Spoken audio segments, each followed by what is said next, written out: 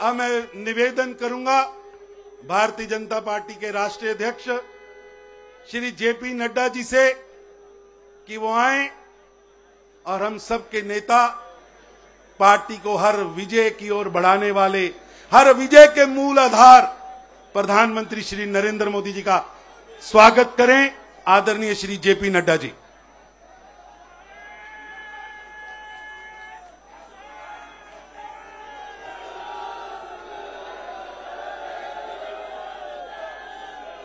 बोलिए, भारत माता की। भारत माता की। भारत माता की। भारतीय Janata party. Bharatiya Janata party. Bharatiya Janata party. Shri Narendra Modi ji. Shri Narendra Modi ji. Shri Narendra Modi ji. आज के इस विशाल विजय सभा में मंच पर उपस्थित हम सबके प्रिय नेता, भारत के यशस्वी प्रधानमंत्री सम्मानीय श्री नरेंद्र मोदी जी, मंचस्थ हमारे सभी वरिष्ठ नेता, और यहाँ इतनी बड़ी संख्या में एकत्र आए, जोश से भरे हुए, ओतप्रोत होते हुए, विजय के इस सभा में अपना योगदान करने के लिए दूर दूर से आए। आप सबकी ओर से और मैं अपनी ओर से और भारतीय जनता पार्टी के करोड़ों कार्यकर्ताओं की ओर से हम अपने यशस्वी प्रधानमंत्री श्री नरेंद्र मोदी जी का हार्दिक अभिनंदन करते हैं, स्वागत करते हैं।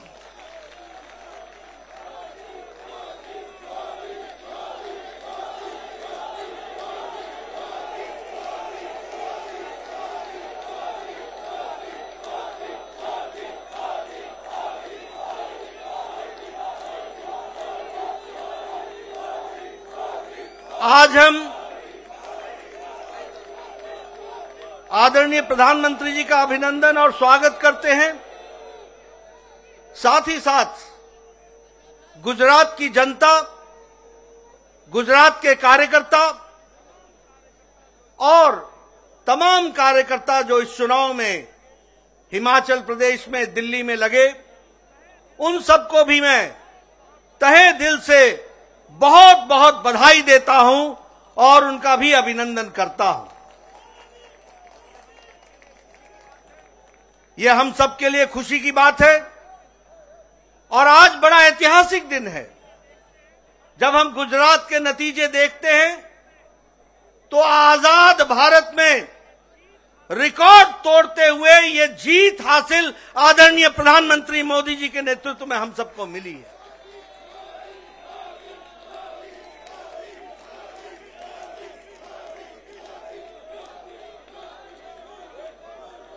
इस प्रचंड जीत ने, इस प्रचंड ऐतिहासिक जीत ने इस बात को स्पष्ट कर दिया है, जिसकी नींव आदरणीय प्रधानमंत्री जी ने भारत की राजनीति में रखा है। और वह है विकासवाद, विकास की कहानी। सबका साथ, सबका विकास, सबका विश्वास और सबका प्रयास।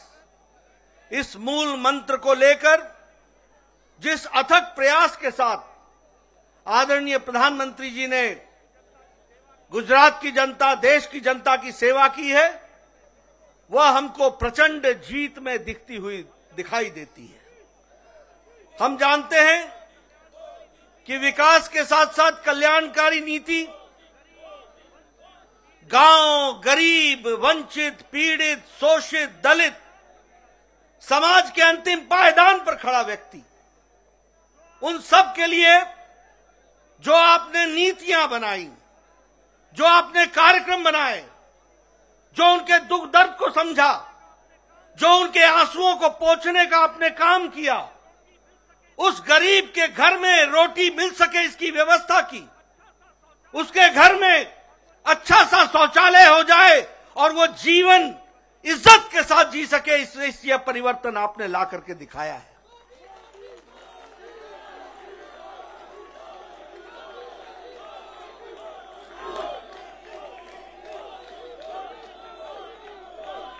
गरीब के घर में बिजली मिले 24 घंटे, उसको दो वक्त की रोटी मिले, वह विकास करने के लिए उसकी शिक्षा की व्यवस्था हो